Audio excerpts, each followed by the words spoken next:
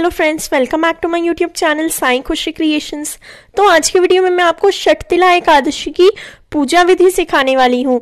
तो चलिए शुरू करते हैं। सबसे पहले सुबह स्नान आदि से निर्वित होकर आप रंगोली बनाएँ। रंगोली बनानी ना आती हो तो आप जहाँ भी पूजा करेंगे, पूजा की जगह पर आप थोड़ा सा हल्दी कुमकुम यानी हल्दी रोली डाल दें। फिर उसके ऊपर पाटा रखें। पाटे के ऊपर पीले रंग का कपड़ा बिछाएँ। अब भगवान विष्णु की फ़ोटो हो या मूर्ति हो तो बहुत अच्छा है। भगवान विष्णु को विराजित करें।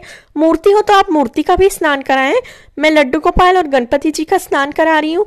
गणपति जी की जगह आप सुपारी भी ले सकते हैं। अब शट तिला, यानी कि छह तरीके से आज के दिन हमें तिलों का इस्तेमाल करना चाहिए। भगवान के पूजा में भी और खुद पर भी। तो ये देखिए, भगवान का भी काले तिल और सफ़ेद तिल मिलाकर स्नान कराएँगे। खुद भी आप काले तिल और सफ़ेद तिल मतलब दोनों में से कोई से भी मिला सकते हैं। मिलाकर आप स्नान करें। अब हम उपटन ले रहे हैं तो मैंने तो रेडीमेड हर्बल उपटन लिया है।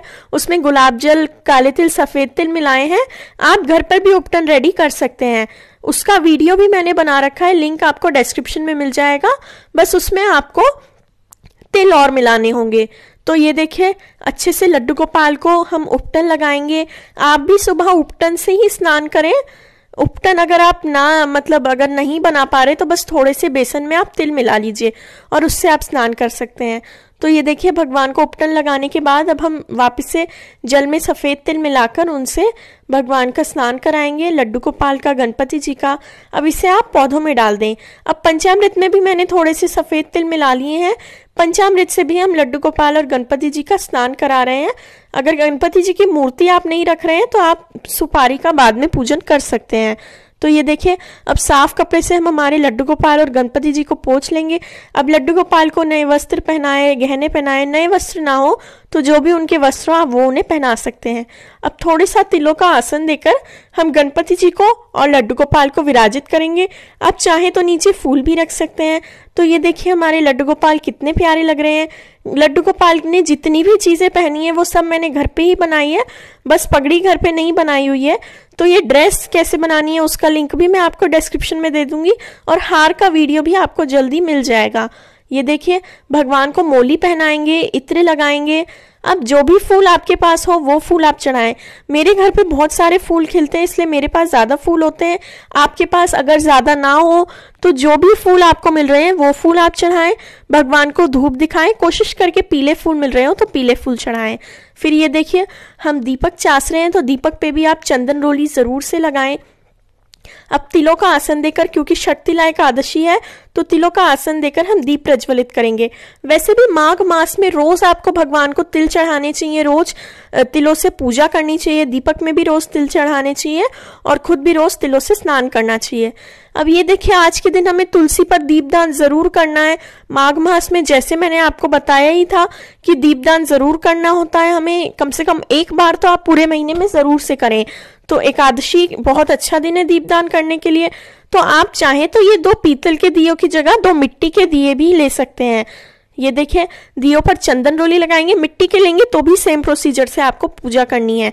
आप मिनिमम दो दियो का दीपदान तो करें ही, और आप चाहें तो अपने घर के चारों तरफ़ भी शाम को दिए लगा सकते हैं। ज़रूरी नहीं है आप दीपदान सुबह करें, दीपदान शाम को भी करा जा सकता है।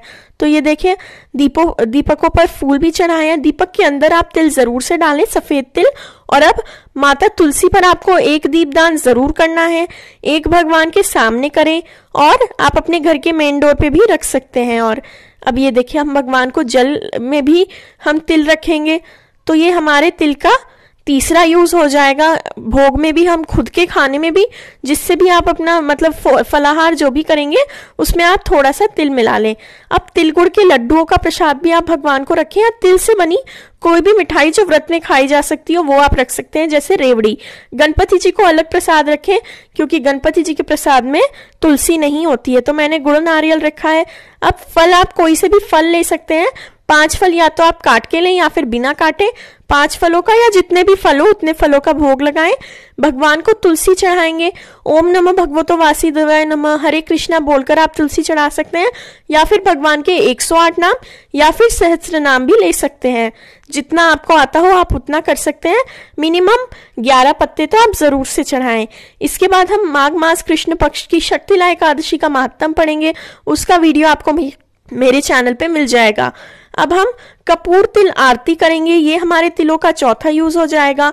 इसी के साथ साथ आप बाकी तरीके से बहुत सारे तरीकों से तिल का यूज़ कर सकते हैं। हमने भगवान को चढ़ाया, वो पांचवा यूज़ हो गया।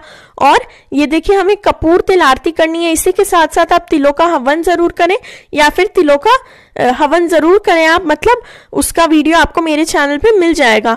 और तिलों का दान भी ज़रूर से करें। तिलों का दान करना बहुत महत्वपूर्ण होता है माघ मास में। अगर माघ मास में किसी और दिन नहीं कर पा रहे हैं तो आप एकादशी पर ही कर दें। तो ये देखिए, किसी भी पात्र में, वो पात्र का भी आपको दान करना होता है तो आप मिट्टी का ले लें, कागज़ का ले लें, या फिर मेरी तरह स्टील का ले लें। उसमें अपनी इच्छा के हिसाब से पैसे रखें और इसको किसी को भी दान कर दें, किसी गरीब को, ब्राह्मण को, जिसको भी आप करना चाहें। तो यही थी हमारी शक्तिला एकादशी की पूजा। अगर अच्छी लगी हो तो वीडियो को लाइक ज़रूर से करें, मेरे चैनल साई खुशी क्रिएशंस को सब्सक्राइब करें। Thank you very much for watching.